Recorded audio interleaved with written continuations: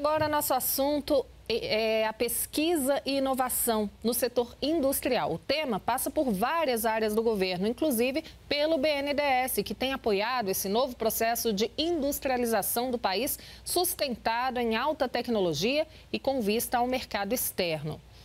Sobre esse assunto, eu conversei mais cedo aqui na EBC com o diretor de Desenvolvimento Produtivo, Inovação e Comércio Exterior do BNDES, José Luiz Gordon. Acompanhe como foi.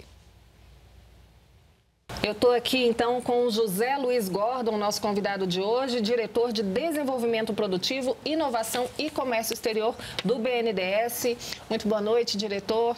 Bom, vamos começar falando de um assunto que hoje tomou conta aí da pauta, que é a, a ideia do governo de retomar os financiamentos no exterior, né? Para o BNDES estar tá à frente disso. Quais são os critérios desse projeto de lei enviado pelo governo ao Congresso? É, são empresas brasileiras no exterior. Conta pra gente como é que vai funcionar. Olha, esse, esse projeto é bem importante, pensando que a economia né, brasileira é em torno de 2%, 1% da economia mundial. O restante está fora. As empresas brasileiras, para ganhar escala, para conseguirem competir, gerarem emprego, conseguirem vender mais, precisam exportar. Isso é uma premissa básica da economia. Não está ficando no mercado interno, tem que exportar, tem que pensar para fora.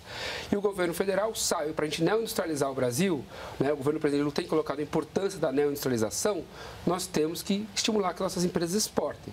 E para isso o BNDES é um braço fundamental para apoiar a exportação. Nós precisamos estimular cada vez mais a exportação. Em 2010, o BNDES chegou a apoiar 11 bilhões de dólares para exportação.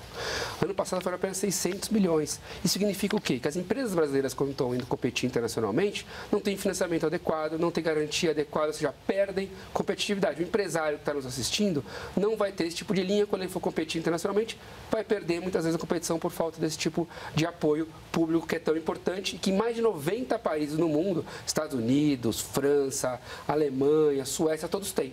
Então, o governo do presidente Lula, preocupadíssimo com o setor industrial, com a neoindustrialização, está mandando esse projeto de lei.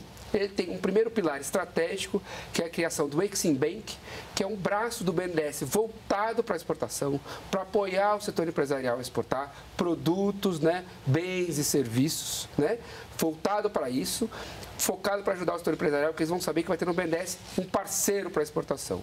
E o outro pilar é a volta do apoio à exportação de serviços. O BNDES tem apoiado muito a exportação de produtos, máquinas, equipamentos, ônibus, aviões, mas também quer apoiar uma economia importante, a economia de serviços. Então você tem obras de engenharia, você tem software, você tem a parte de audiovisual, você tem uma economia de serviços muito importante, onde o Brasil hoje já se tornou referência e pode exportar mais e ganhar mercado. Então, o projeto de, projeto de lei também volta a ajudar a exportar serviços. E tem três pilares estratégicos para a exportação de serviços. Um, seguir as melhores práticas internacionais, a OCDE, a OMC, a Organização Mundial do Comércio. Um segundo pilar, que é de transparência. O BNDES foi é, anunciado pelo TCU e pelo, pela CGU como a instituição pública mais transparente do Brasil. Né? Então tá lá, nós vamos manter nossa transparência para isso. Tudo vai estar publicado no nosso site, como já é hoje, vai estar em lei isso. E também tem mais uma coisa muito importante que é países que são inadimplentes com o Brasil. Né? O BNDES não apoia país, não financia país, financia empresas brasileiras com recursos no Brasil para as empresas exportarem seus produtos. Mas em alguns casos, o importador, que é um país, tem que pagar o Brasil. Em alguns casos, acontece de estarem inadimplentes, pouquíssimos. Esses não poderão pleitear financiamento do BNDES. Isso já é uma regra do BNDES, vai estar na lei e são algumas das mudanças que estão sendo colocadas nesse projeto de lei. Certo. E as, o perfil das empresas que vão poder usufruir aí dessa, dessa retomada? São só médias e grandes empresas ou o pequeno empresário também vai poder investir aí na exportação?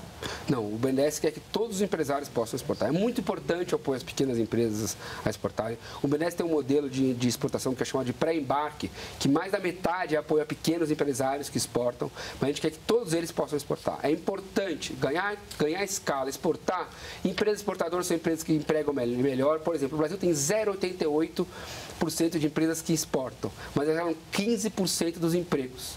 Empresas exportadoras geram emprego, geram mais renda, trazem divisas, ou seja, dólares, né? são mais inovadoras e vão ser mais verdes também, porque a competição internacional vai ser muito em cima da agenda verde. Então, está tudo casado com a agenda de industrialização.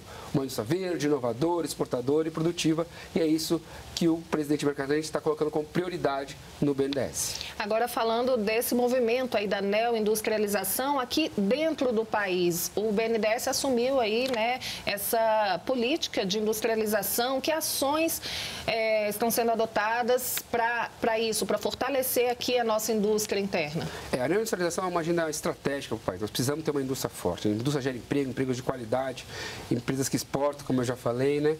E o que, que nós estamos adotando? A primeira coisa, a primeira medida adotada pelo governo foi criar a taxa de juros mais barata para apoio à inovação, que é a taxa de juros passou no Congresso Nacional, isso é uma medida encaminhada pelo governo federal, que está dando hoje, em média, 4% ao ano. A taxa de juros mais barata, baratíssima, menor que a inflação, 4% ao ano, já contando o spread, né, que é o custo do BNDES, mais a taxa de juros, ou seja, muito barata. Né? Para inovação, são 60 bilhões de reais. É a maior política de inovação da história do país. Desses 60 bilhões, 40 bilhões em crédito a esses 4% baratíssimos que eu falei, metade do BNDES, metade da FINEP e ainda mais 20 bilhões não reembolsáveis que vão ser operados pela FINEP. Ou seja, governo do presidente Lula querendo uma indústria moderna, inovadora, que ganhe mercado. Então, esse é um pilar importante. Outro pilar fundamental é uma indústria verde. Né? O ministro Haddad lançou um Green Bond que vai, captar, vai botar recurso no novo Fundo Clima. Né? é, que será o maior fundo clima da história do Brasil, será com 10, 10 bilhões, a taxa de juros extremamente atraente, em torno de 6, 15, 6,5% para apoiar uma indústria descarbonizada, ou seja, outro pilar estratégico.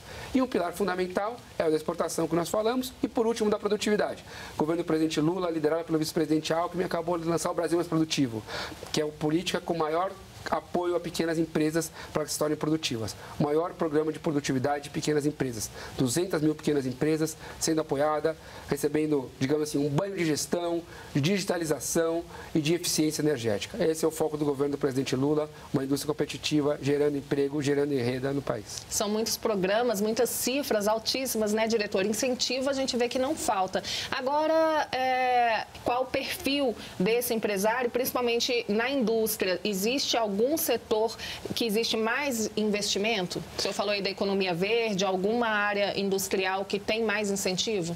O, o governo federal está criando a política industrial que tem seis grandes missões, né? seis grandes agendas estratégicas. Agroindústria, sustentável, digital, área de saúde, é, infraestrutura e mobilidade sustentável, transformação digital, é, bioeconomia e energia renovável e setor da defesa. Essas são as grandes prioridades do país. Mas nós vamos apoiar qualquer empresário que tenha um projeto, desde o grande empresário até o pequeno empresário. Isso é uma coisa muito importante de registrar.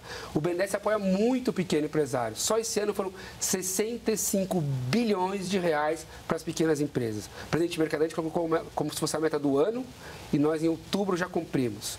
Boa parte dessa usando o fundo garantidor do BNDES, que é o PA, que é FGI, 30 bilhões a partir do fundo garantidor. Ou seja, o empresário brasileiro, o de maior porte, pode ir direto no BNDES, né, de médio e maior porte, direto no BNDES, pegar o seu empréstimo, e aqueles que são menores podem pegar numa rede de mais de 50 bancos privados, cooperativas, agências estaduais, bancos de desenvolvimento, espalhados por todo o país, que são repassadores do BNDES, ter acesso a esses recursos para que possam investir, crescer né, e gerar empregos no país. Ficar atento a essas oportunidades, então, né? Vamos dar o um serviço aqui, tem o site do BNDES para que Isso. todos possam buscar mais informações, que infelizmente o nosso tempo está acabando. É, no site do BNDES tem todas as linhas do BNDES, todos os projetos de forma transparente estão lá todos os parceiros do BNDES que operam recursos, então o empresário pode procurar todos no site do BNDES. Maravilha, obrigada pelas suas informações. Diretor José Luiz Gordon, que é diretor de Desenvolvimento Produtivo, Inovação e Comércio Exterior do BNDES. Obrigado, Ana.